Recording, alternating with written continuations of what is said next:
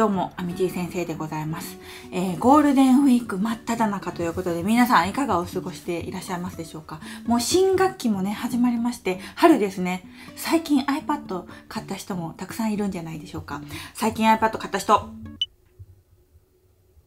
はい、ありがとうございます。えっ、ー、と、本日の動画はですね、えっ、ー、と、最近 iPad を買った人向けに、えー、このアプリは絶対入れといた方がいいよっていうのをですね、いくつか紹介していきたいと思います。え、この動画を初めて見てくださった方、こんにちは。アミティ先生と申します。もう YouTube はですね、5年ぐらいやっているんですけれども、ずーっと iPad のクリエイティブな使い方についてひたすら発信しておりましてですね、もう iPad のアプリはかなり詳しいです。ということで今日はですね、えー、仕事編とクリエイティブ編に分けてですね、おすすめアプリたちを紹介します。あの、初心者向けになりますので、中級者の方はですね、あの、おさらいレベルに見ておいていただけると嬉しいなと思います。はい、ということでやっていきます。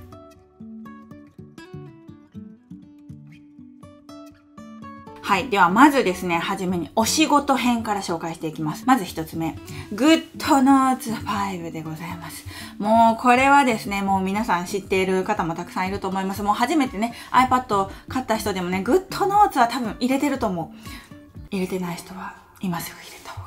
GoodNotes はですね、ノートアプリでございまして、あの、議事録を取ったりとか、勉強をしたりとか、あと赤入れとかもできますね。メールで資料が送られてきて、その資料を iPad で読み込んで、えっ、ー、と、 GoodNotes で赤入れして、もうそのままピュンってメールで返したら、もうね、いちいち印刷しなくてもいいわけですよ。そんな感じで、もう超時短でその、ノートとか PDF とか 手書き系のですね、書類を、あの、操ることができるのが GoodNote でございますね。あの、タスク管理だったりとか、スケジュール帳とかにも使ったりとかする人いるんですけれども、本当にもう使い方は人それぞれなんですけれども、この Apple Pencil で直感的にメモを取れるっていうのがいいところでございますね。はい、ということで、あの、こちらですね、Amity 先生の本も出ておりますね。GoodNotes のチュートリアルを、だけをまとめた GoodNotes 手書きノートブックということで、はい、宣伝入らせていただいて誠に恐縮でございますが、これはめちゃくちゃいい本でございますので、ぜひ皆さん買ってください。概要欄のところに貼っておりますのでね、もう全部 GoodNotes。はい。続きまして、えー、コンセプト、もしくはフリーボードでございます。この2つはですね、無限キャンバスのノートアプリでございます。さっきの GoodNotes は普通にこう A4 の紙に書いていくような感じですね。コンセプトとフリーボードはひたすらこう、いっぱい書けるわけなんですよ。で、これ何がいいかっていうと、まあお仕事してる人ね、企画出したりとか、なんか頭を整理したりとか、まあそれこそアイデアを作るようなお仕事をしてる人はですね、ノートに端っこがないのでずっとひたすら書いていけるわけなんですよ。どちらも無料ですね。コンセプトはね、ちょっとあの課金しなきゃいけないところもあるんですけれども、基本的には無料です。フリーボードは Apple 純正のアプリですね。あの、私の動画ではまだこのフリーボードの使い方出してないんですけれども、めちゃくちゃ便利ですので、よかったら使ってみてください。はい、続きまして、メモアプリ、データベースアプリでございます。Notion もしくはクラフトでございます。えっ、ー、と、Apple 純正のメモアプリもね、同じ分類にいるんですけれども、Apple 純正のアプリは、うーん、OK って感じ。良くもなく、悪くもなくって感じですね。はい。で、他に、あの、データベースアプリというか、メモアプリいいのがあって、それが Notion かクラフトですね。あの、メモアプリってさ、一番最初にどれ使うかがすごい重要じゃないですか。だって1個、1個メモ作って、2個メモ作って、3個メモ作っていったらさ、もうね、ちょっと違うアプリに移行しようってならないでしょ？だから、一番最初に何を選ぶかっていうのがすごく重要なんですけれども、えっ、ー、と、できれば Notion かクラフトに行った方がいいと思います。で、この2つの違いなんですけど、 Notion はもっとね、なんか文字って感じ。文字、文字でメモを作るって感じ。データベース作る感じ。で、クラフトはもう少しビジュアルですね。なんかパネルになったりとか、なんかすごい色がついたりとか、視覚的にわかりやすいのがクラフトですね。私はクラフト派ですね。 Notion はもうちょっとなんていうんですかね、あの、うん、頭がいい人が 使うようなアプリですね。私はちょっとね、あの、 Notion 離脱したあの側の人間なんですけれども、はい、あの、すごい細かくデータベースをしっかりと作りたい人は、 Notion 最初から使った方がいいと思います。私はクラフト推しですけどね。あの多分日本にクラフトを広めたのはあの何を隠そうこの Amity 先生でございますのではいあのお見知りおきをお願いします。はい続きまして、えー、 Canva でございます。 Canva。もう今ねぐいぐい伸びてるキャンバでございますね。AI の機能を入れてきたりとか、もうテンプレートがすごい豊富だったりとか、あの、デザインを作るアプリなんでございますけれども、キャンバ多分知らない人いないですよね、ほぼね。はい。あの、PC のブラウザーでも使えますし、iPad でも使えるし、iPhone でも使えるんですけど、まあそのデザインの細かい知識がない人が簡単に、えーと、デザインサムネイルだったりとかバナーとかチラシとかあと名刺とかも作れますね。サイトデザインウェブサイトのデザインができるっていうところでですね私も動画出してその動画めちゃくちゃ伸びてるのでねよかったら見てほしいんですけどまあ要は専門的な知識がなくても簡単にそういうビジュアルが作れるよっていうのが Canva なんですね。このお仕事系というところに入れさせてもらいましたけれども、まあ、クリエイターじゃない人でも使えるので、 Canva は入れといた方がいいと思います。はい。続きまして、チャットツールですね。チャットツールはちょっと人によってね、変わるんですけど、えっ、ー、とね、 Slack、Discord、あと、 Spark。これメールアプリですね。私、これ使ってます。あと、Google 系ですね。Google のあのメールとかですね。あと、LINE とか、メッセンジャーとか、いろいろありますね。そういうチャットツールは、あの、iPad に入れておくと結構いいと思います。私の使い方としては、 Spark、このメールアプリですね。メールアプリは、外部の方とのそのメールでやり取りするときは Spark。で、 Slack。Slack はチャットアプリで、うちのチームメンバーですね。キッズの iPad メディキッズのチームメンバーだったりとか、その他他のね、イラストレーターの方とかとかと、連絡を取るときとかはですね、スラックを使っております。で、ディスコード。ディスコードはですね、コミュニティ向けのチャットツールっていう感じですね。えっと、私だったら今 iPadMate っていうコミュニティを運営してるんですけど、そのコミュニティメンバーの人たちと、こうチャットとかをするときは、ディスコードっていうアプリでやってます。個人のメールとかは LINE とか Twitter とかインスタとかメッセンジャーとかかな。はい。そんな感じで使い分けておりますので、はい。ご参考までに。はい。続きまして、電卓のアプリでございます。なんと iPad にはですね、デフォルトで電卓のアプリが入っておりません。なんで？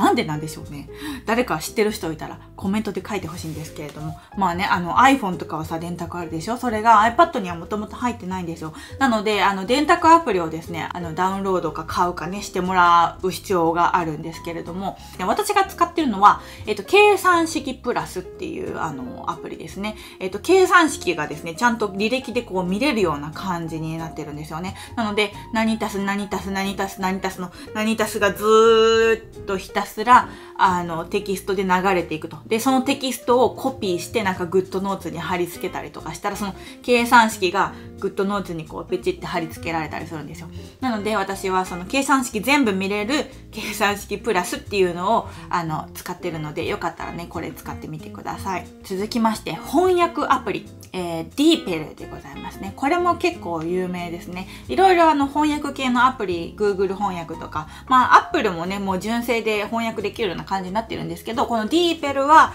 めちゃくちゃ翻訳の精度が高いと。なんかすごい、うんと、日本語のちょっと、なんていうかな、ギミックのような、あの、テキストを入力してもちゃんと英語に翻訳してくれたりするんですよ。なので、このディーペルね、使ってね、あの、海外の人と連絡取ったりとか、まあ、あの、英文をね、翻訳したりとか、そういうお仕事でね、使うとめちゃくちゃいいと思いますので、ディーペルは絶対入れといた方がいいと思います。はい。続きまして、カレンダー系のアプリですね。これも人によって違うかな。えっ、と、私は Google のカレンダーを使ってるんですけど、まあ人によっては Apple 純正のカレンダー使ってる人もいるし、えっ、と、TikTok ティックティックかな？結構有名な、あの、ティックティックがなんかのカレンダーアプリがあるんですけど、私使ったことないんですけど、結構これレビューが高いので、あの、使ってる人はよく見ますね。あと、手書き系のスケジュール帳カレンダーだったら、プランナー for iPad っていうのがあります。これ無料アプリなんですけど、無料で手書きの、あの、スケジュール帳が作れるんですよ。皆さん中学生とかさ、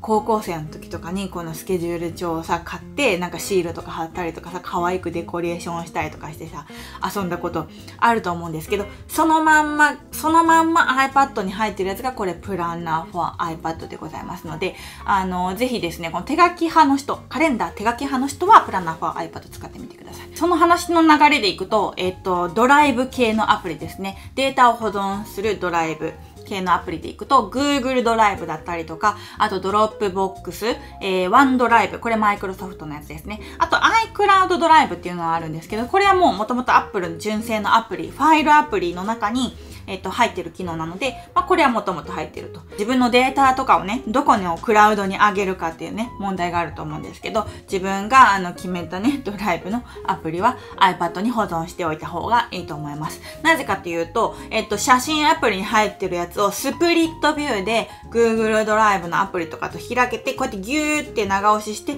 ピュってやったら、もう Google ドライブの中に入っていくんですよ。なので、あの、いちいちね、こう Mac に送ったりとかパソコンに送ったりとかしなくていいので、めちゃくちゃ楽です。もうドライブ系のアプリはマストで入れてください。で、この Google ドライブとか Dropbox とかのアプリを使ってる人は、そのアプリを iPad に入れ込むとですね、えっと、ファイルアプリのサイドバーのところに Google ドライブとかワンドライブとかっていうのが出てくるんですよ。えっと、この画面のここにね、サイドバーを表示っていうボタンがあるんですけど、それを押すとですね、こんな感じに出てきます。で、今、iCloud ドライブとかしかオンになってないんですけど、これで例えばワンドライブとか、ドライブっていうのはこれ、あの Google ドライブですね。で、あとはドロップボックスとかっていうのがあるので、これをオンにするんです。そしたら、いちいち Google ドライブのアプリを開かなくても、ここで中が見えるんですよ。簡単にね、こっからアクセスできるので、とりあえずアプリさえね、あのダウンロードしておけば、とはもうこのファイルアプリから